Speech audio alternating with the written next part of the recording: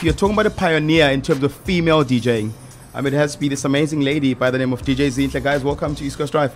Thank you so much. And of course, she's not alone. Uh, she's in studio with Nokubonga Mabanga.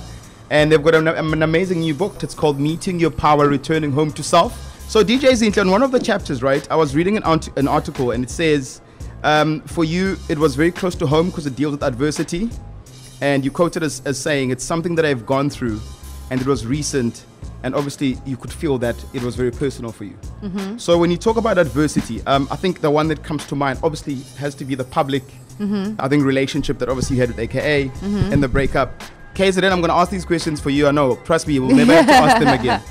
Obviously, you guys had a very public breakup. Yeah. Have you gotten to a place where you've forgiven the other person that was involved? Uh, yeah, totally. For forgiveness is the, is the gift you give yourself. So I had to forgive everyone because the longer you hold on to to anger or resentment, it, it doesn't affect anyone else but you. When you meet her in public, like, are you, are you, like, how, like, wh- what are you guys? No, man. do you guys greet? Or-. No, we don't. We've never been friends even before. So this, you're not gonna think this is a pretend that you're friends, yeah? Yeah, yeah, yeah. So, but we're cool. We, we don't look at each other funny. We are we are decent girls. We are good girls. And then the last time I had AK in studio, right? Uh-huh. I asked him this question. I was like, I saw that interview. are you still in love with DJ Zinhle? And he said yes. And he said yes. So I'm yeah, asking because I you gave now. you a nice baby. He better be. So Zinhle, can I ask you something? Are you guys? I know all the fans are like, Yeah. Are you guys ever gonna get back together? Please say no for me. no, for you.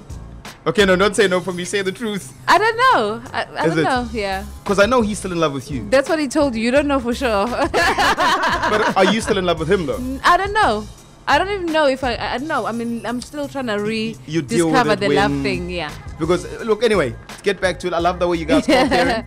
I think from other single moms and moms that are going through adversities, I just mm-hmm. want to be a voice for them to say thank you to you. Yeah. And having a baby, being under the spotlight, you have remained the ultimate Lady. woman and lady. And you are such an example you. that you don't have to go be ugly and you don't have to be nasty to be able to prove a point. Thank you. And thank you for joining us because I know everyone's been so excited. But just That thank you so for cool. Remaining the most perfect lady. And kudos, kudos. And I can't wait to watch the journey unfold. Thank you so much. East Coast Drive with Bongani and Mags. Bongani and Mags. Weekdays, 3 to 6 p.m.